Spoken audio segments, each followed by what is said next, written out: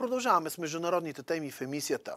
С 5 милиона евро Германското министерство на земеделието ще подкрепи украинските животновъди. Финансовата помощ е предвидена за купуването на ветеринарни медикаменти от първа необходимост.